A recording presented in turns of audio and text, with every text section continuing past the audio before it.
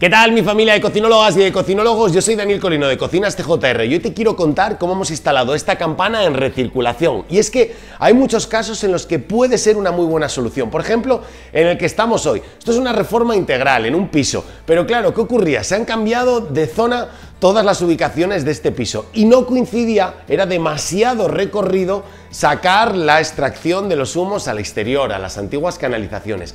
¿Qué decisión tomamos? Tomamos la decisión de elegir esta campana de hélica, el modelo Illusion, pero le hemos añadido esta pieza que tenemos aquí, que la hemos elegido en color negro, para hacer la recirculación. Y es que aquí están los filtros que hacen que el que los humos, los vapores que aspira la campana pasan a través de un conducto, se filtran y los devuelven otra vez dentro de la estancia sin ningún tipo de olor y reteniendo todas las grasas y todas las impurezas que tiene el aire.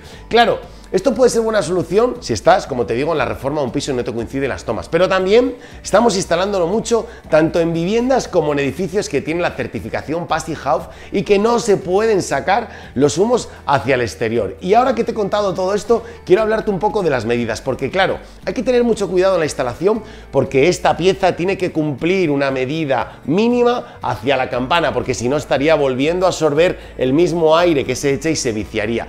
¿Qué distancia tiene? No te la voy a decir de este modelo porque te recomiendo que depende qué modelo, qué marca y qué campana elijas, te fijes en ese dato.